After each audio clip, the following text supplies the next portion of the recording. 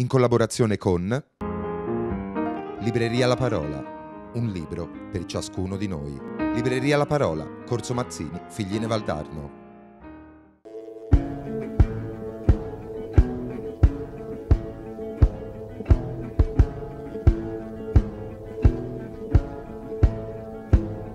Bentrovati, sono in mezzo ai libri e quindi inizia una nuova puntata di Word, il gusto della parola. Siamo ovviamente alla libreria La Parola Figline Valdarno e con me ovviamente, come sempre, ci sono Giacomo ed Emma per quanto riguarda eh, il, questo rapporto, questa eh, alternanza scuola-lavoro con l'Istituto Giovanni da San Giovanni, con il liceo linguistico Giovanni da San Giovanni di San Giovanni Valdarno e poi nel salottino troveremo sia Beatrice che Samuele che ci racconteranno i libri che hanno letto questa volta. Eh, iniziamo come al solito con, mie, con, i miei racconti, perché io di recensioni non parlo mai, ma vi ra- racconto quello che ho letto, quello che i ragazzi della Libreria della Parola mi hanno consigliato di leggere e voglio iniziare così, prima ancora di dirvi che cos'è. Sono nata il 21 a primavera ma non sapevo che nascere folle, aprire le zolle, potesse scatenar tempesta. E penso l'abbiate riconosciuta perché sono, eh, è una frase di una fra le poesie più conosciute di Alda Merini.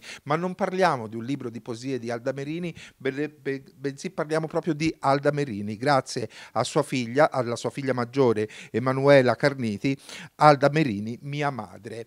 Eh, a chi dedico questo libro? Chi è che dovrebbe leggere leggere questo libro, chiunque abbia amato Alda Merini come poetessa, perché in questo libro troviamo tutto di lei. Ovviamente chi meglio della figlia la conosce. E ci parla di un'Alda ragazzina, ci parla di un'Alda adolescente, ci parla di un'Alda eh, moglie e madre e ci, ci racconta tutta, tutta, la vita di Alda fino alla morte, eh, inclusi, inclusi, i periodi più bui, i periodi eh, più drammatici di Alda, che sono quelli ovviamente dell'internamento nel manicomio.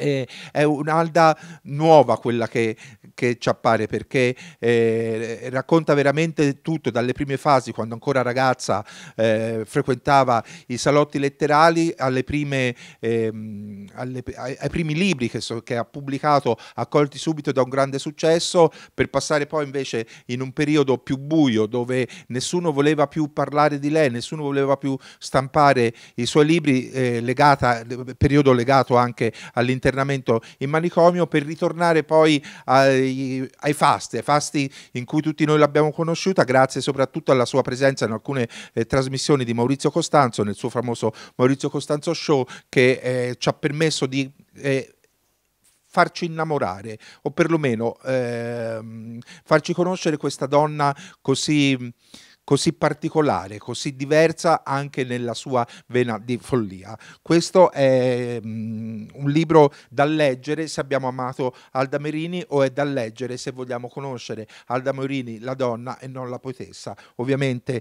eh, questo grazie alla sua, sua figlia Emanuela Carniti, Alda Merini, mia madre. È edito da Manni e il costo è di 16 euro. Detto questo, che cosa facciamo? Ci trasferiamo, andiamo nella zona dedicata all'ospite, quest'oggi un giallista con noi. Come preannunciato sono nell'angolo dell'autore e sono con mm, Marco oh, non so più come chiamarti. Oscar, allora, Montani. Oscar Montani con il nome d'arte. Eh, Oscar, ehm, tu hai due, du, du, due filoni, diciamo, quattro filoni. C'è quello storico che, che, ho in mano adesso, poi c'è quello attuale. Quello attuale, poi ce n'è uno ventennio fascista e poi ce n'è uno del fine Settecento, inizio Ottocento, occupazione napoleonica temporanea della Toscana. Ecco, Oscar è un giallista.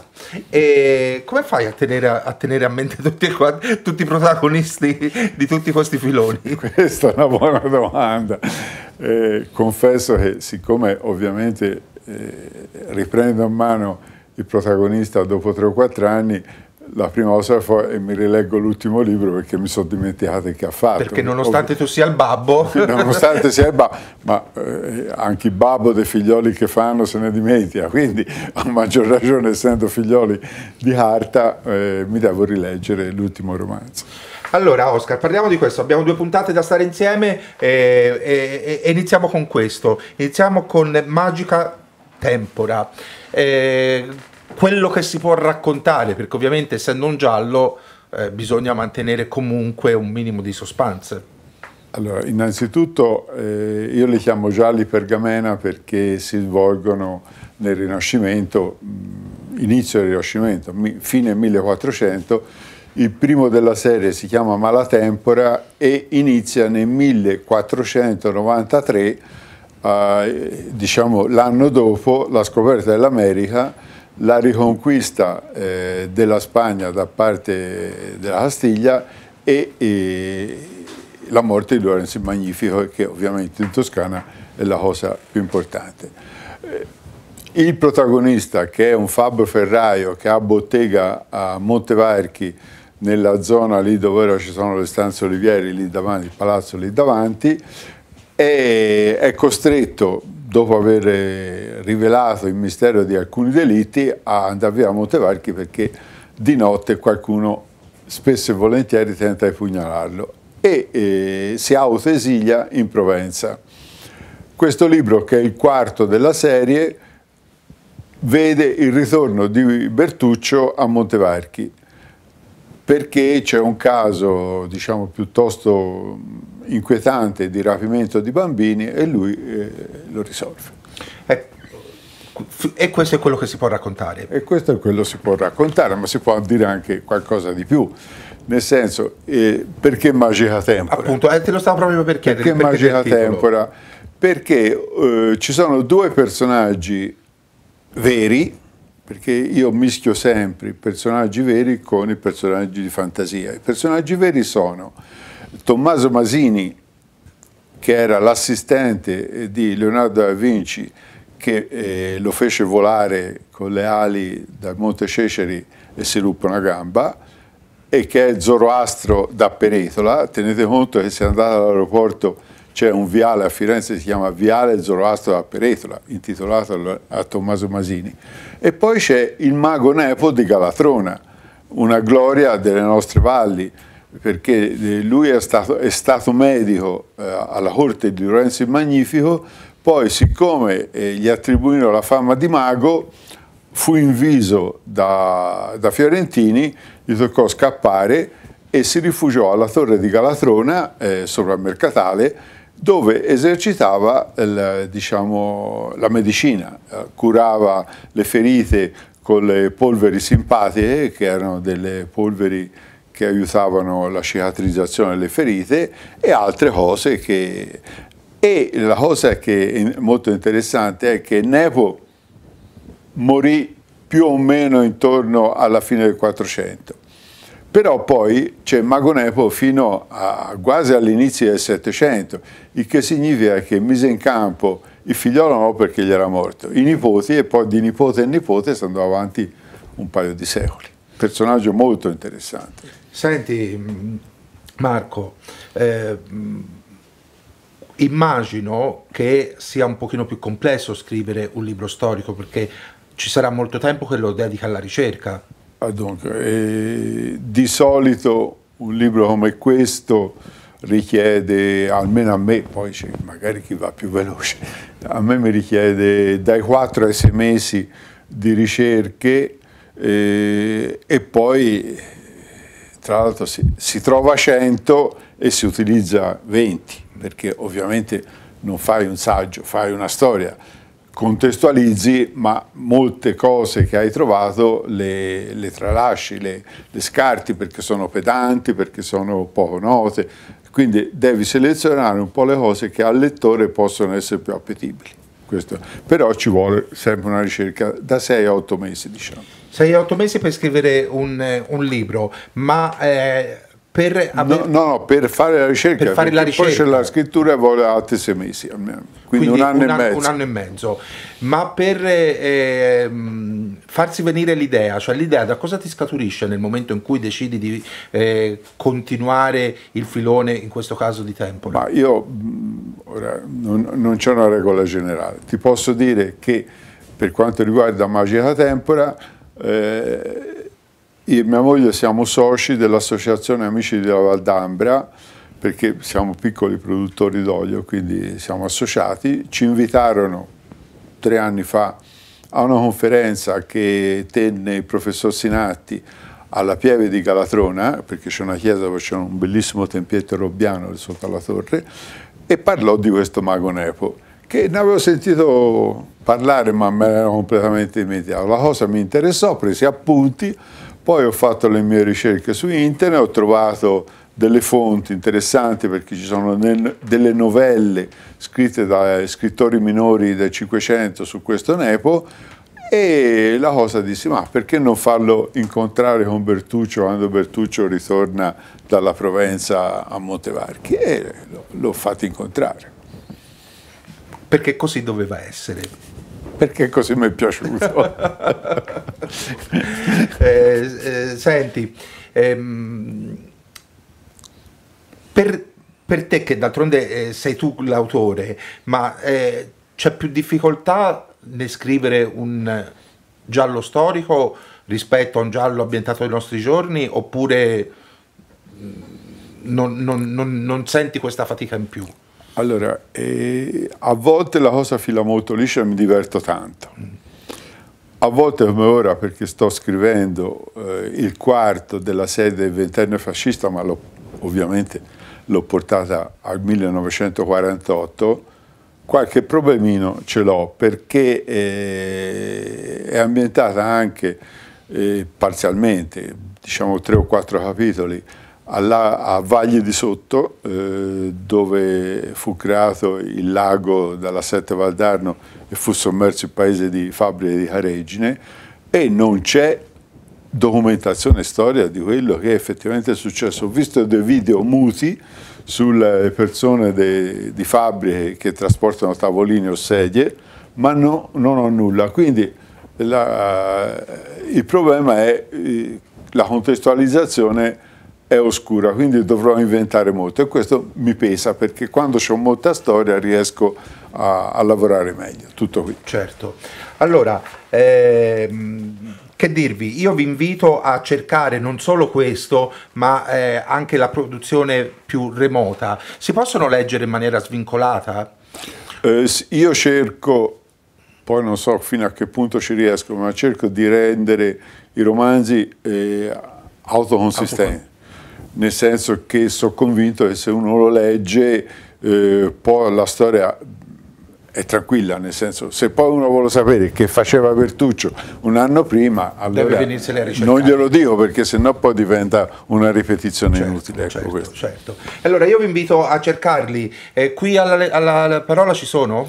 Mm, non lo so, se li ordina li ha in due o tre giorni senza problemi. Perfetto, allora vi invito a cercare la produzione di mm, Marco, di Oscar Santoni e, mm, e lo rivediamo, ci rivediamo la prossima settimana. Senz'altro, grazie.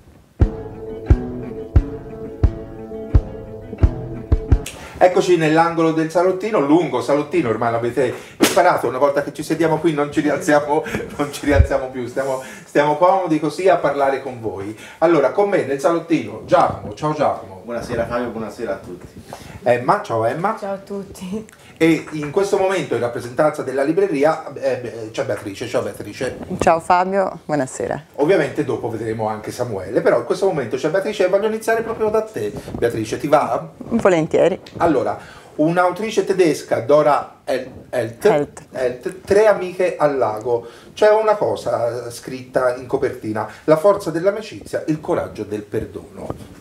Esatto, allora è come appunto hai appena detto un romanzo sull'amicizia, un'amicizia che eh, lega quattro ragazze dall'età proprio dell'infanzia, da, si può dire dalle elementari.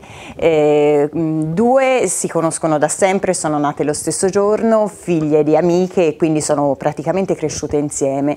Le altre due si aggiungono a, a, alle prime durante gli anni della scuola, diventano inseparabili e fanno tutto insieme c'è eh, un, un, luogo che le lega particolarmente, un lago dove eh, Marie, eh, una di queste ragazze, eh, ha una casa e dove sono solite passare le vacanze insieme.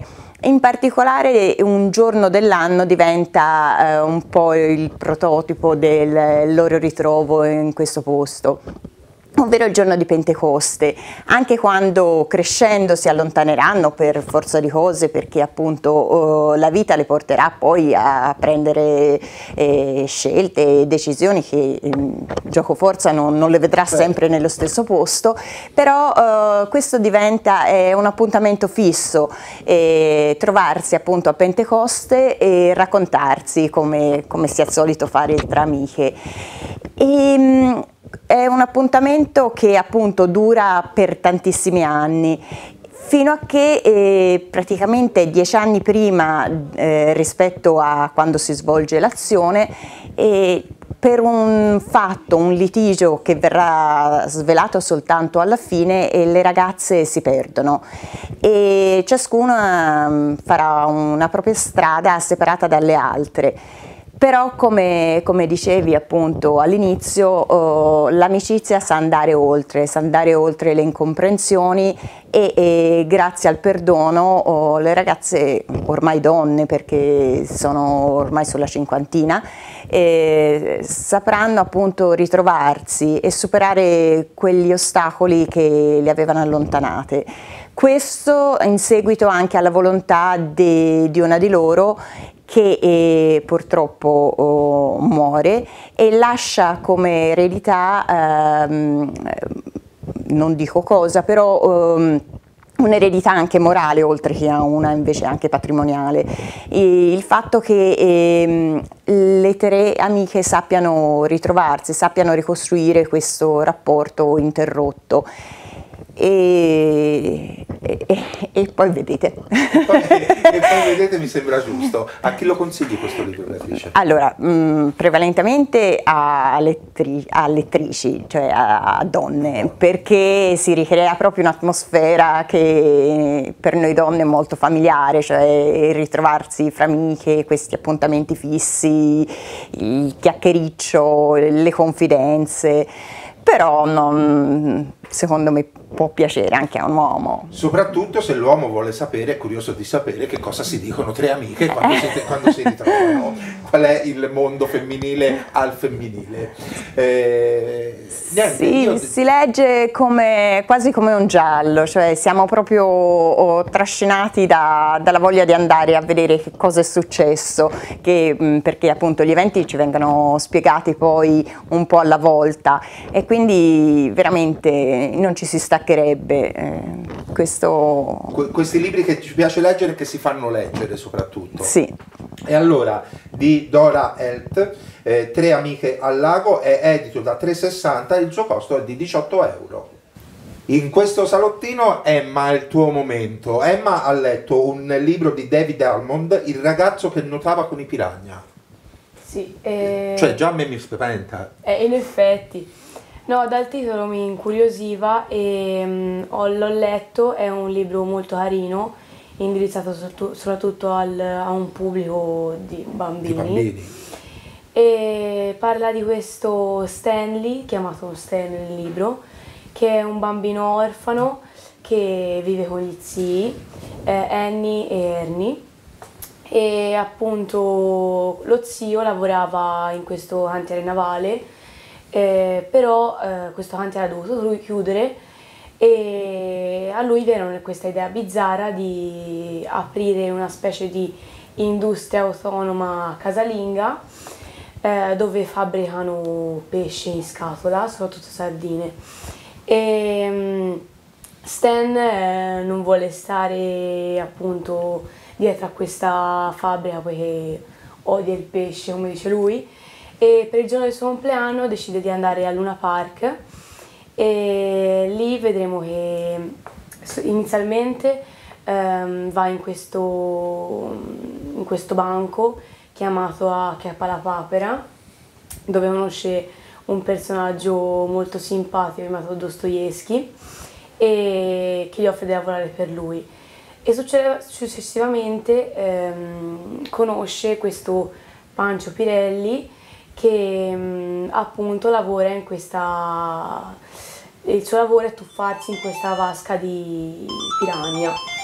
E mm, appunto è molto divertente il fatto che questo bambino gracile ehm, inizia a fare questo lavoro e grazie appunto a questo personaggio riesce a senza paura a buttarsi in questa vasca e anche soprattutto è molto bello il finale perché davanti agli zii che erano preoccupati, non sapevano dove fosse, eh, lui riesce a buttarsi e questi piranha lo seguono e seguono tutti i suoi movimenti e, e lui e non lo mangiano. E non lo mangiano, il pubblico era comunque preoccupato perché un bambino così piccolo e da qui fa capire comunque che eh, ci possono essere cambiamenti, comunque anche lo zio che voleva continuare a fare il lavoro, sempre lo stesso lavoro, capisce ci possono essere dei cambiamenti nella vita e la morale è più o meno questa. È questa. Appunto, sì. E allora, signori genitori, se volete regalare un libro, eh, dato che insomma ci stiamo avvicinando a grandi passi alle feste di Natale, eh, questo di David Elmond potrebbe essere l'idea giusta per i vostri ragazzi, anche perché eh, parla proprio di un ragazzo, il ragazzo che nuotava con i piranha, è edito da Salani e il costo è di 14,90 euro. Sandra Passerotti, Le ragazze di Barbiana, ovvero la scuola al femminile di Don Milani. Allora, sì, è stato scritto tanto su, su, Don Milani e sulla sua scuola. Questo è un libro che è uscito proprio da pochi giorni e affronta un aspetto che, di cui non è che non si era proprio parlato, però era un po' passato sotto silenzio, cioè la presenza femminile nella scuola di Barbiana. Le, le bambine erano pochissime, eh, a, que, a, quei tempi non andavano a scuola le bambine, quindi è interessante perché affronta proprio questo argomento, eh, mette a confronto la realtà di Barbiana con quella che era proprio la, la realtà scolastica del tempo, cosa che fa anche Don Milani eh, con i suoi allievi perché lui confrontava sempre il lavoro che loro facevano con, la, con il lavoro che veniva svolto nelle scuole, nelle scuole statali. E qui l'autrice, che non è una che ha conosciuto direttamente Barbiana, ma ha sposato una, un allievo di Barbiana, è andata a ricercare appunto le, le bambine, sfogliando, cercando tracce di, di queste bambine eh, che erano presenti a, a, Barbiana con Don Milani, ne ha trovate alcune le ha intervistate, nove, insomma, nove, nove donne che raccontano la propria esperienza di scuola a Barbiana. E anche in questo ci fa capire quanto Don Milani eh, fosse avanti eh, come sistema pedagogico, anche perché eh, già la scolarizzazione che lui faceva era molto diversa a quella che veniva fatta normalmente. E in più lui si occupava delle bambine che appunto a quei tempi eh, nessuno si preoccupava della, eh, de della loro istruzione, le bambine dovevano stare a casa a aiutare a imparare i lavori domestici. Quindi appunto è, è interessante perché di figure femminili chiaramente a Barbiana eh, si sa che ne sono passate, sono state fondamentali per la riuscita della scuola, eh, però si parlava di persone adulte insomma, che aiutavano Don Milani nella, nella quotidianità insomma, del rapporto con questi bambini. E invece appunto è interessante che, di questa autrice di, di, di Pontassieve che si è messa con, con dedizione a studiare e a cercare queste persone a farsi raccontare la loro storia partendo appunto sia esperienze di, di San Donato a Calenzano dove era, insomma, dove era cappellano Don Milani prima di andare a Barbiana per poi appunto arrivare a Barbiana. E tu hai una presentazione mi dicevi? Sì, sì, voleva, approfitto per, per dire che martedì eh, 17 dicembre l'autrice sarà Sandra Passerotti sarà qui in libreria per parlarci de, del suo libro. E allora per conoscerla, per avere, avere proprio da lei le, le, così, la, sua, la, sua, visione del libro, il suo racconto del libro, eh, Basta, basta, venire. Venire martedì no, no, alle, alle, 17. Alle 17 in Corso Mazzini, Figline Valdarno, la libreria La Parola, per conoscere Sandra Passerotti e il suo Le ragazze di Barbiana, la scuola femminile di Don Milani, è edito da eh, Libreria Editrice Fiorentina e il suo costo è di 12 euro. A questo punto io ringrazio, ringrazio Samuele e Beatrice, ringrazio eh, Emma, ringrazio Giacomo, finisce qui il salottino, finisce quasi la puntata, però prima della fine della puntata voi venite un attimo di là con me che vi faccio il, il solito riepilogo dei libri che vi abbiamo presentato. Eccoli qui i libri di questa puntata, ve li ricordo, ho iniziato io con il libro di Emanuela Carniti, Alda Merini, mia madre, edito da Manni, il suo costo è di 16 euro. Poi eh, Beatrice ci ha raccontato il libro di Dora Helt, Tre amiche eh, al lago, edito da eh, 360, il suo costo è di 18 euro. Emma invece ci ha eh, raccontato Il ragazzo che nuotava con il piranha di David Almond, il, eh, eh, edito da Salani Editori e il suo costo è di 14,90 euro. E per finire Samuele ci ha raccontato il nuovo libro di Sandra Passerotti, Le ragazze di Barbiana, la scuola al femminile di Don Milani, edito da Libreria Editrice Fiorentina, il suo costo è di 12 euro. Eccoli qui, stanno tutti sul palmo di una mano, ma voi sapete benissimo che eh, il catalogo della Libreria La Parola scuola è molto più ampio. Eh, io vi invito fortemente a venire a Figline Valdarno in Corso Mazzini e entrare da quella porta perché vi si apre un mondo, un mondo fatto di libri, un, molto, un mondo fatto di autori. Entrando ci sono le novità, eh, eh, le ultime novità, le ultime uscite, ai lati c'è la saggistica è sempre verde, proseguendo eh, troviamo un'ampia zona dedicata alla... Ehm, letteratura a tematica religiosa e poi qui nella zona dove noi registriamo dove troviamo tutti i libri per i nostri ragazzi, la, eh, tutta la, la, la, libreria a tematica giovanile per i, eh, per i ragazzi. Eh, cosa succede se però voi avete in mente un libro e in quel momento che venite non lo trovate? Non dovete preoccuparvi perché lo potete ordinare. Tre o quattro giorni di tempo, a seconda delle case editrici e degli autori, il libro arriva, voi lo ritirate e ve lo leggete poi tranquillamente a casa vostra, nel vostro, eh, nella vostra poltrona, nel vostro divano, a letto prima di addormentarvi, dove più vi piace perché eh, leggere fa bene, leggere rilassa, leggere apre la mente. In collaborazione con... Libreria La Parola, un libro per ciascuno di noi. Libreria La Parola, Corso Mazzini, Figline Valdarno.